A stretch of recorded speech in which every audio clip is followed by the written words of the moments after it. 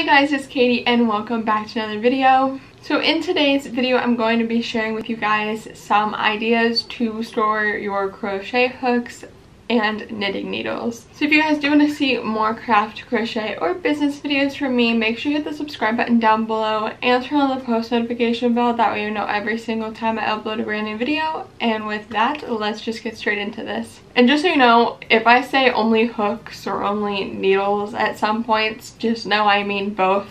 I'm personally a crocheter, so I'm most likely going to refer to them just as hooks but no, all of these ideas you can use for knitting needles and crochet hooks. So I have just moved myself over here, that way I can insert pictures of the ideas I'm talking about right here.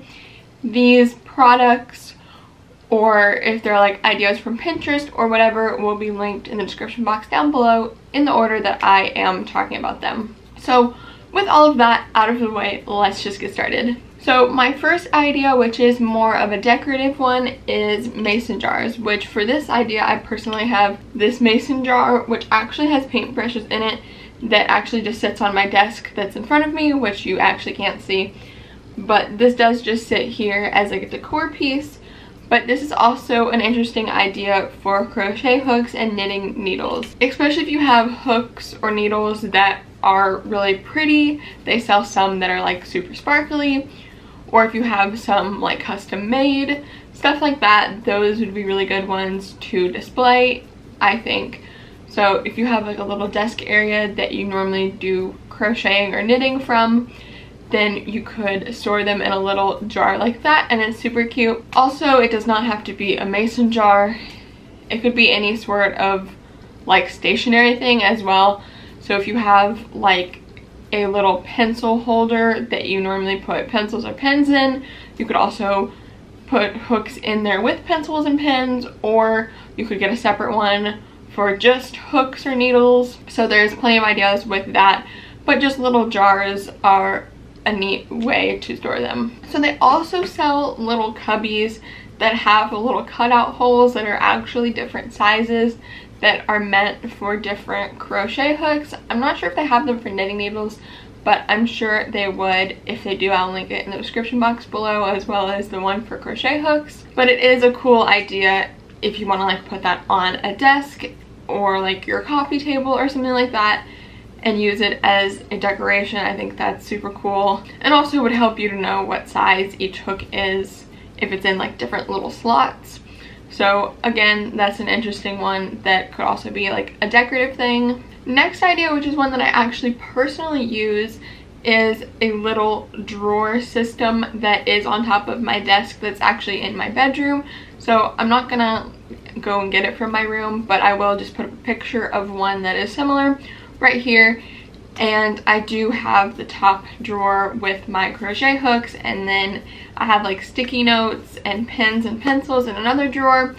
And then I also have like stitch markers and yarn needles and stitch counters and that kind of thing in the bottom drawer. So it is kind of like my set of crocheting drawers and it is like right next to my bed as well which is where I do most of my crocheting so it works out pretty well for me and I think it's just a good way to keep organized as well. So it doesn't have to be for just hooks it can be for other small crocheting or knitting items. So the next idea I have for you guys is actually desk drawer organizers.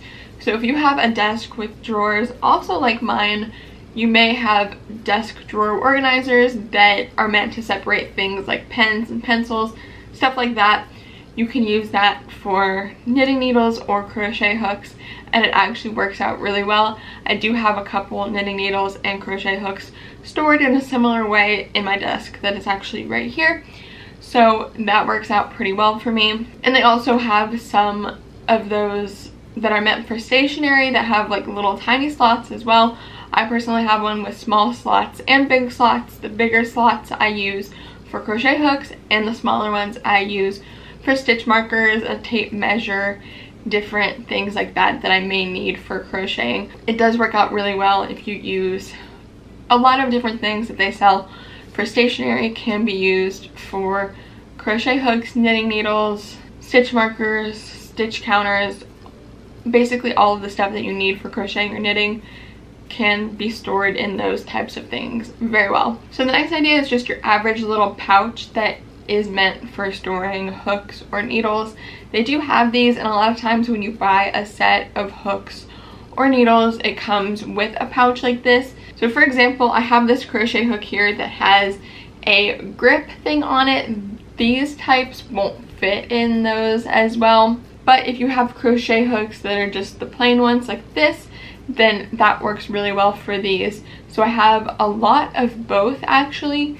So I will store my kind of backup ones that I don't use as often, which are the ones without the grips. I will store in those little pouch thingies and take them on like road trips or if I'm going in the car, that type of thing, I will use those hooks for and store them in the pouches like that. But those also just work if you're like a beginner crocheter I also recommend those and just your regular hooks that fit in them really well.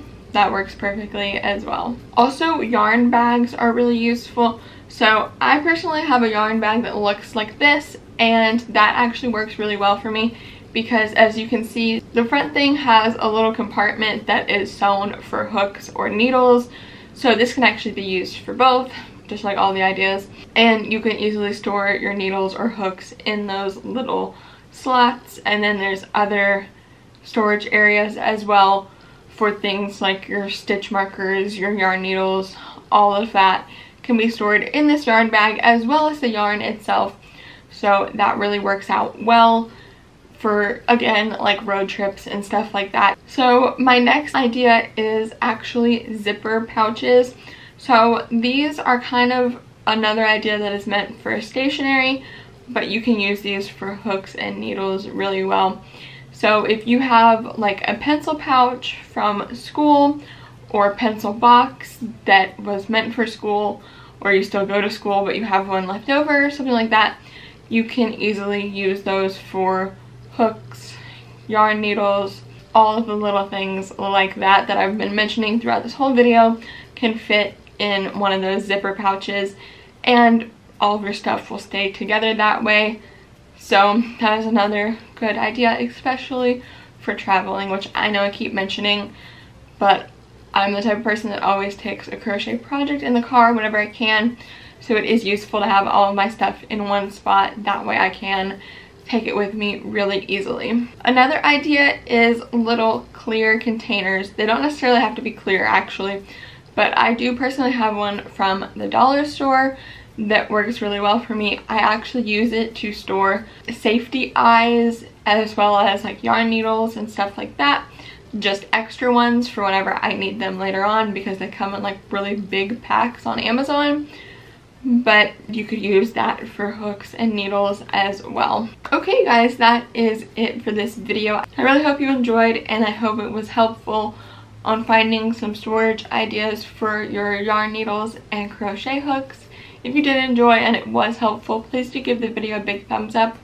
If you guys want to see more craft, crochet, or business videos from me, make sure you hit the subscribe button down below and turn on the post notification bell. That way you know every single time I upload a brand new video.